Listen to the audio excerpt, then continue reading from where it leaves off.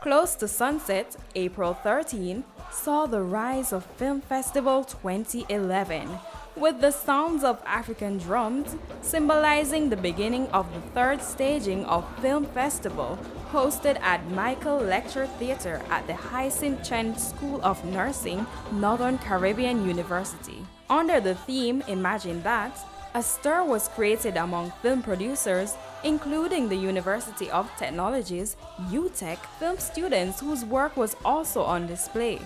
There were judges in the persons of Kim Marie Spence, Ransford Ricketts, Winford Williams, Gillian McDaniel, and Nicola Carrara. The event was simply awesome, all set against an African inspired decor.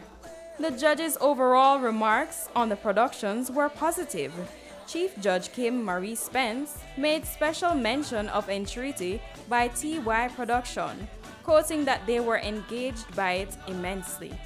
The evening saw awards going to Jason Bean Sawyers, producer of the HIV commercial, which won four of the nine awards Best Overall Film, Best Edited Film, Best Sound and Lighting, as well as Best Promo DVD.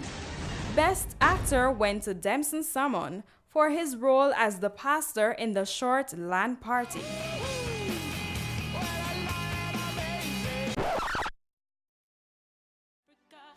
Nazila Mays copped the Best Actress Award, and Yorkwin Walters walked away with the Best Trailer and Storyline Award for his entry.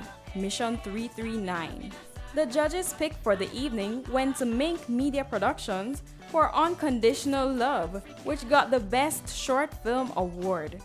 Northern Caribbean University's Communication Studies Department raising the bar under the theme Imagine That Film Festival 2011. It's an African thing.